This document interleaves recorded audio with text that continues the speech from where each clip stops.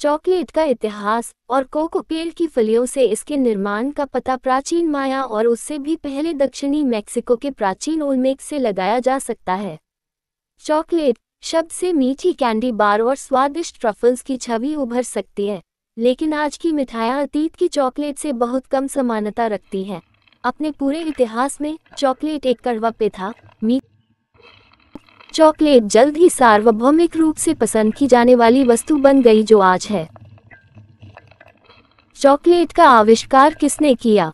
Chocolate cocoa के पेड़ों के फल से बनाई जाती है, जो मध्य और दक्षिण अमेरिका के मूल निवासी हैं।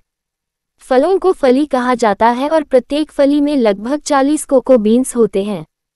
अधिकांश आधुनिक चॉकलेट अत्यधिक परिष्कृत और बड़े पैमाने पर उत्पादित होती हैं। हालाँकि कुछ चॉकलेट निर्माता अभी भी अपनी चॉकलेट रचनाएँ हाथ से बनाते हैं और सामग्री को यथासंभव शुद्ध रखते हैं।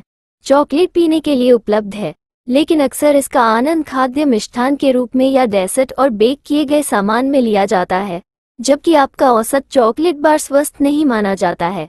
डार्क चॉकलेट ने हृदय स्वस्थ, एंटीऑक्सीडेंट से भरपूर उपचार के रूप में अपनी जगह बना ली है।